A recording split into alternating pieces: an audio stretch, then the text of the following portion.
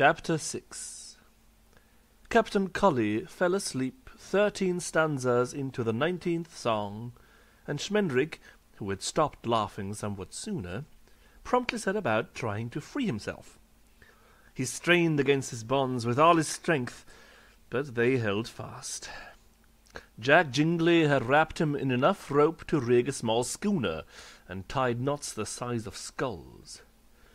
Gently, gently, he counselled himself. No man with the power to summon Robin Hood, indeed to create him, can be bound for long.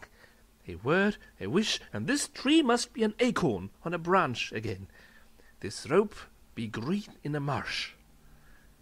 But he knew before he called on it that whatever had visited him for a moment was gone again, leaving only an ache where it had been. He felt like an abandoned chrysalis.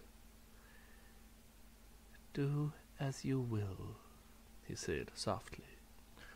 Captain Cully roused at his voice and sang the fourteenth stanza. There are fifty swords without the house, and fifty more within, and I do fear me, Captain, they are like to do us in. Ha done, ha done, says Captain Cully, and never fear again, for they may be a hundred swords, but we are seven men. I hope you get slaughtered, the magician told him, but Cully was asleep again. Schmendrick attempted a few simple spells for escaping, but he could not use his hands, and he had no more heart for tricks. Whatever happened instead was that the tree fell in love with him, and began to murmur fondly of the joy to be found in the eternal embrace of a red oak. Always, always, it sighed, faithfulness beyond any man's deserving.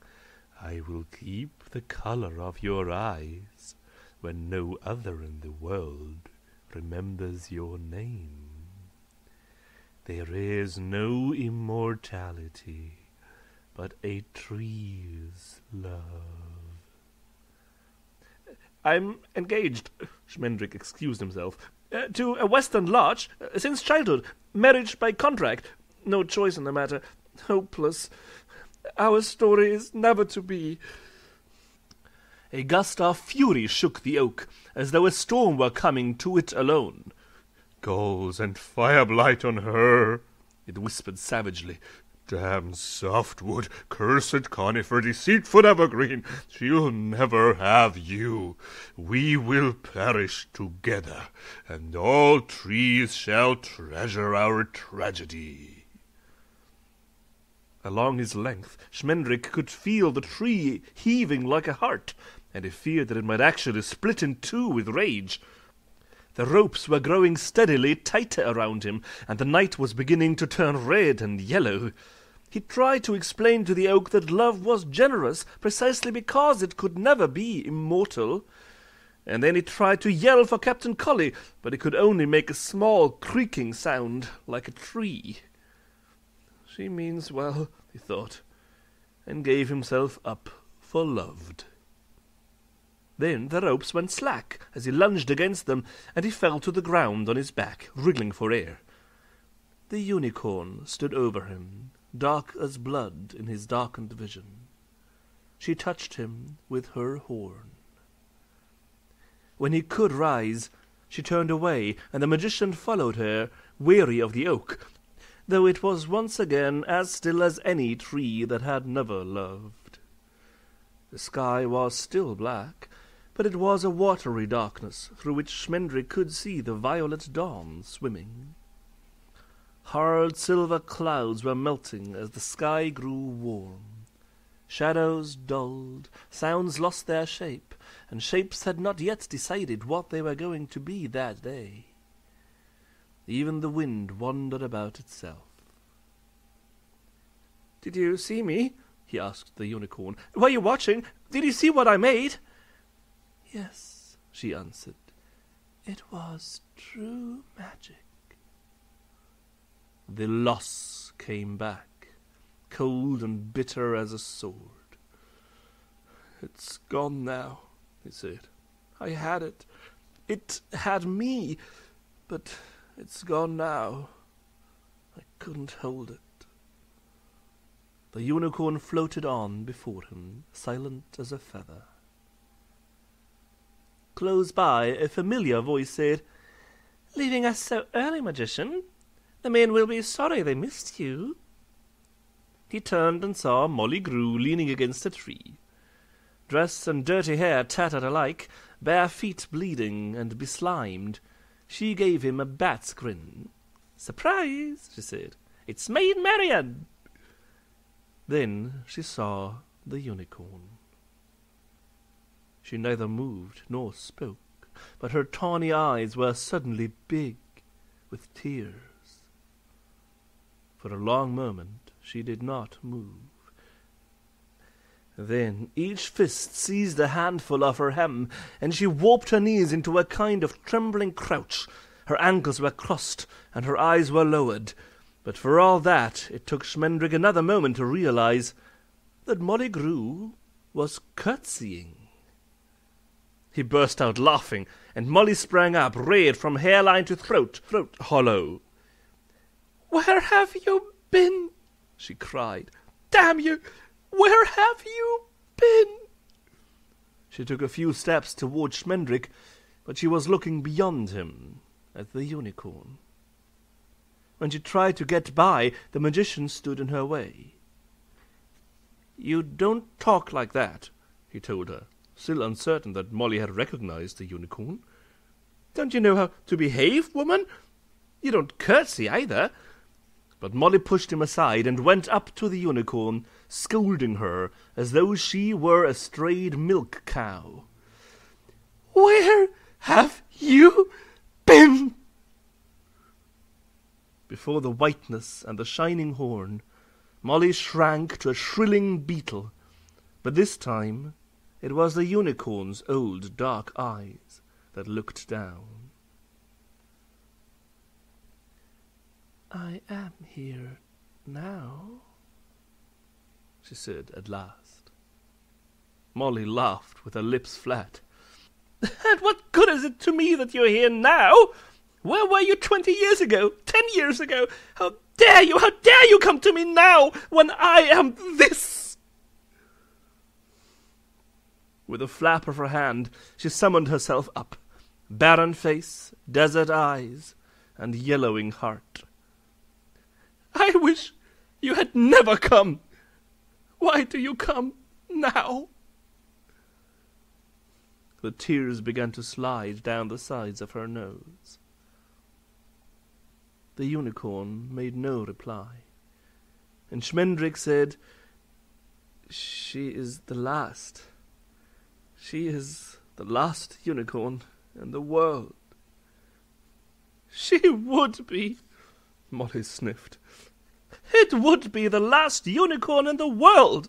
It came to Molly Grue. She reached up then to lay her hand on the unicorn's cheek but both of them flinched a little, and the touch came to rest on the swift shivering place under the jaw. Molly said, It's all right. I forgive you. Unicorns are not to be forgiven. The magician felt himself growing giddy with jealousy, not only of the touch, but of something like a secret that was moving between Molly and the unicorn. Unicorns are for beginnings, he said, for innocence and purity, for newness. Unicorns are for young girls. Molly was stroking the unicorn's throat as timidly as though she were blind. She dried her grimy tears on the white mane. You don't know much about unicorns, she said. The sky was a jade grey now, and the trees that had been drawn on the dark a moment ago were real trees again, hissing in the dawn wind. Schmendrick said coldly, looking at the unicorn, We must go. Molly agreed promptly. Aye, before the men stumble on us and slit your throat for cheating them, the poor lads. She looked over her shoulder. I had some things I wanted to take, but they don't matter now. I'm ready. Schmendrick barred her way again as he stepped forward. You can't come with us. We are on a quest. His voice and eyes were as stern as he could make them, but he could feel his nose being bewildered. He had never been able to discipline his nose. Molly's own face closed like a castle against him, trundling out the guns and slings and cauldrons of boiling lead. And who are you to say we? I'm her guide, the magician said importantly. The unicorn made a soft, wondering sound, like a cat calling her kittens.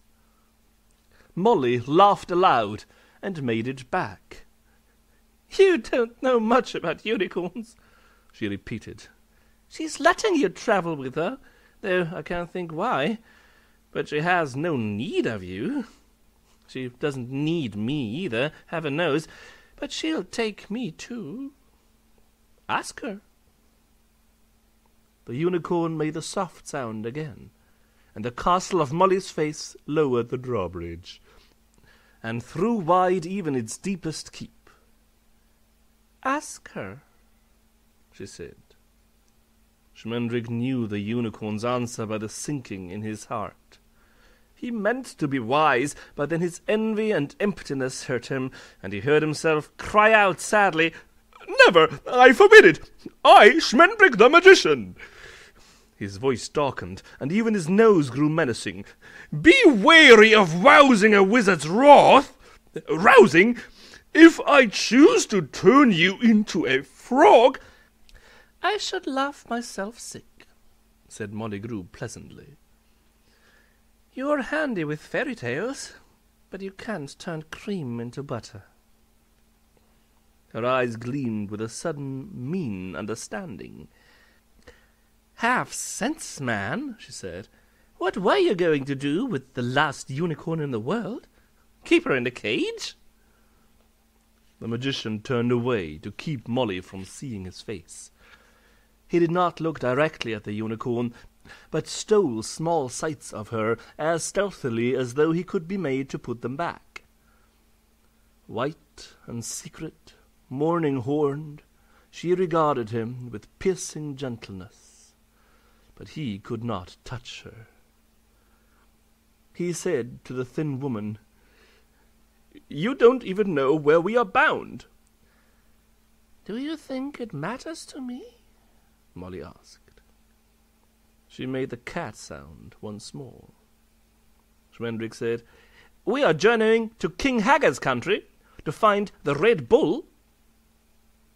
Molly's skin was frightened for a moment, whatever her bones believed or her heart knew.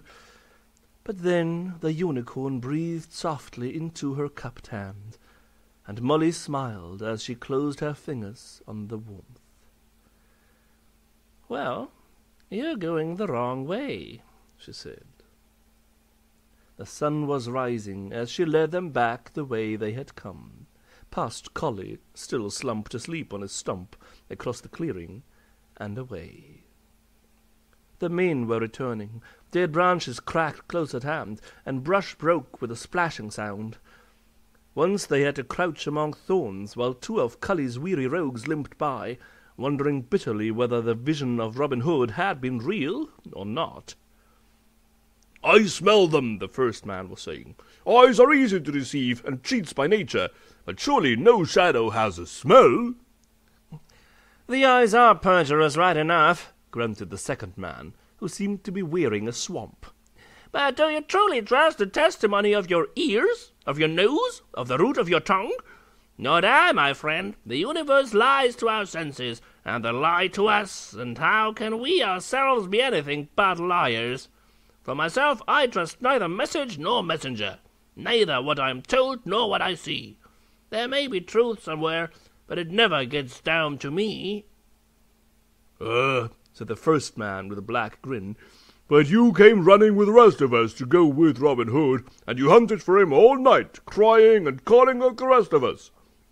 Why not save yourself the trouble if you know better? Well, you never know, the other answered, thickly spitting mud. I could be wrong.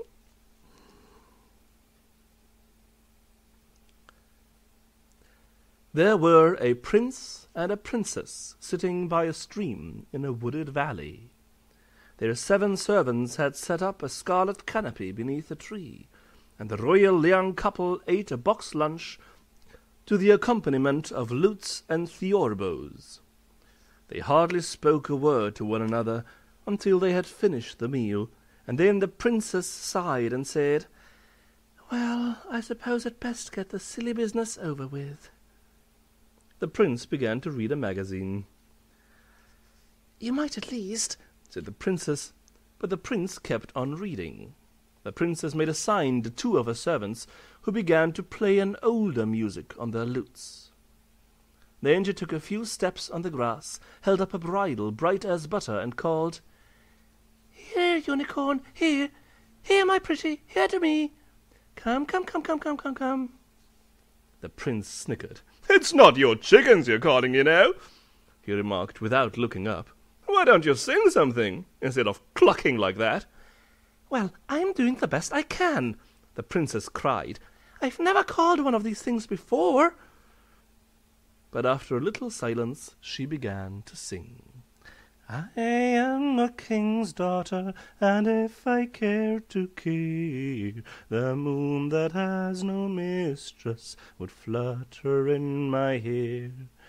No one dares to cherish what I choose to crave. Never have I hungered that I did not have. I am a king's daughter, and I grow old within the prison of my person, the shackles of my skin. And I would run away and beg from door to door just to see a shadow once and never more. So she sang, and sang again, and then she called, Nice unicorn, pretty, pretty, pretty, for a little longer, and then she said angrily, Well, I've done as much as I'll do. I'm going home. The prince yawned and folded his magazine. You satisfied custom well enough, he told her, and no one expected more than that. It was just a formality. Now we can be married.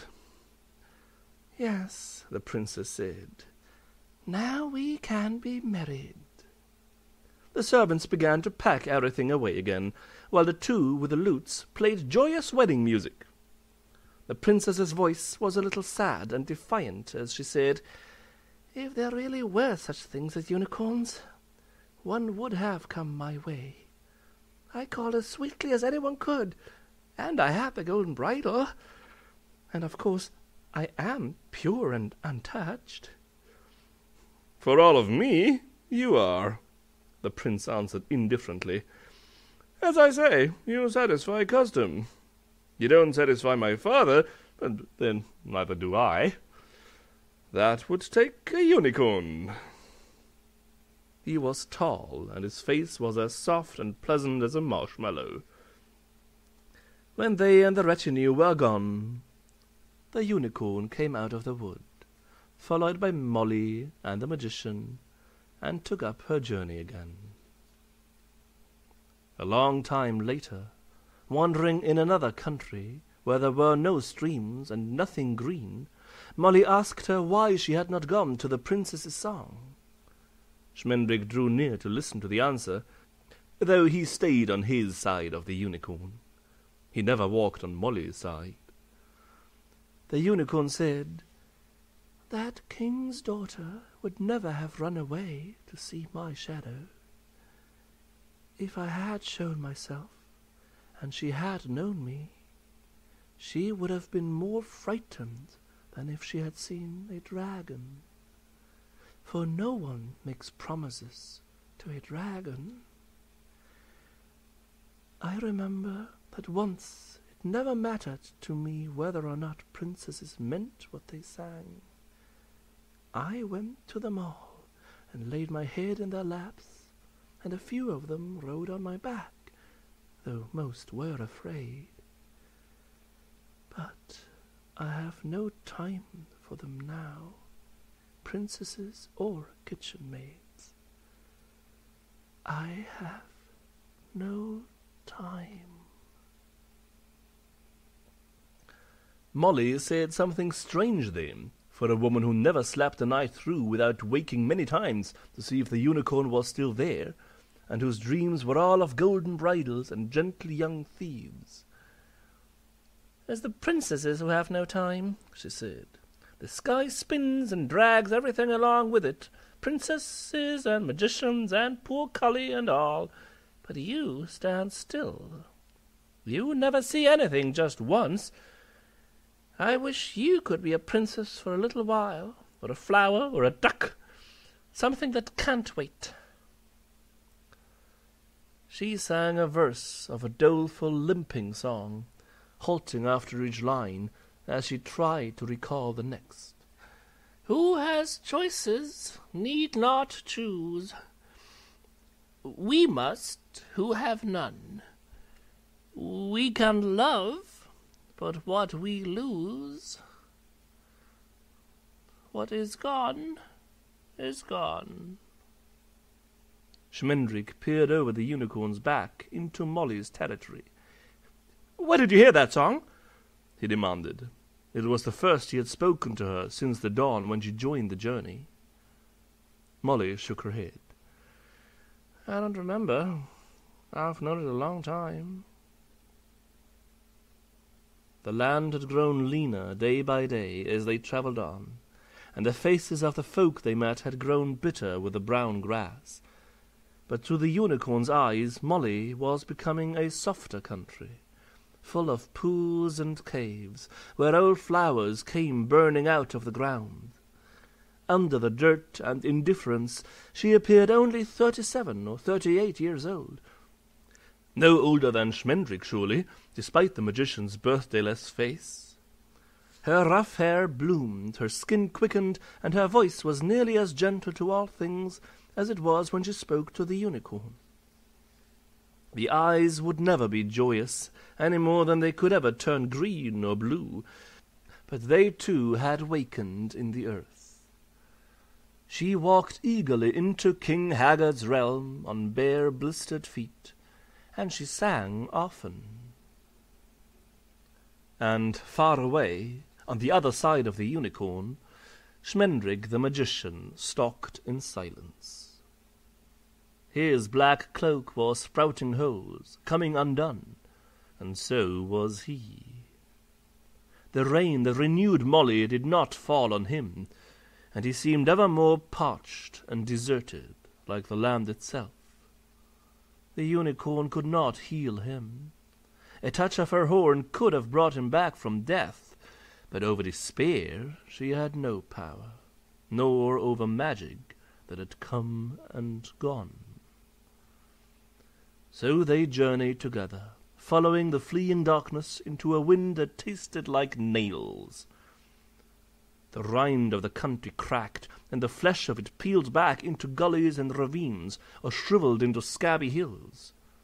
The sky was so high and pale that it disappeared during the day, and the unicorn sometimes thought that the three of them must look as blind and helpless as slugs in the sunlight, with their log or their dank rock tumbled away. But she was a unicorn still with a unicorn's way of growing more beautiful in evil times and places. Even the breath of the toads was grumbled in the ditches, and dead trees stopped when they saw her. Toads would have been more hospitable than the sullen folk of Haggard's country. Their villages lay bald as bones between knife-like hills where nothing grew, and they themselves had hearts unmistakably as sour as boiled beer. Their children stoned strangers into town, and their dogs chased them out again. Several of the dogs never returned, for Schmendrick had developed a quick hand and a taste for mongrel. This infuriated the townsmen as no mere theft would have done. They gave nothing away, and they knew that their enemies were those who did. The unicorn was weary of human beings, watching her companions as they slept, seeing the shadows of their dreams scurry over their faces. She would feel herself bending under the heaviness of knowing their names. Then she would run until morning to ease the ache, swifter than rain, swift as loss, racing to catch up with the time when she had known nothing at all but the sweetness of being herself. Often, then, between the rush of one breath and the reach of another, it came to her that Schmendrick and Molly were long dead, and King Haggard as well, and the Red Bull met and mastered, so long ago that the grandchildren of the stars that had seen it all happen were withering now, turning to coal, and that she was still the only unicorn left in the world. Then, one owlless autumn evening, they rounded a ridge and saw the castle. It crept into the sky from the far side of a long, deep valley, thin and twisted, bristling with thorny turrets, dark and jagged as a giant's grin. Molly laughed outright, but the unicorn shivered, for to her the crooked towers seemed to be groping toward her through the dusk. Beyond the castle, the sea glimmered like iron. Haggard's fortress, Schmendrick murmured, shaking his head in wonderment. Haggard's dire keep. A witch built it for him, they say, but he wouldn't pay her for her work, so she put a curse on the castle. She swore that one day it would sink into the sea with Haggard, when his greed caused the sea to overflow. Then she gave a fearful shriek, the way they do, and vanished into a sulphurous puff. Haggard moved in right away. He said no tyrant's castle was complete without a curse. I don't blame him for not paying her, Molly Grue said scornfully. I could jump on that place myself and scatter it like a pile of leaves. Anyway, I hope the witch has something interesting to do while she waits for the curse to come home. The sea is greater than anyone's greed. Bony birds struggled across the sky, squealing, Help me! Help me! Help me! And small black shapes bobbled at the lightless windows of King Haggard's castle. A wet, slow smell found the unicorn.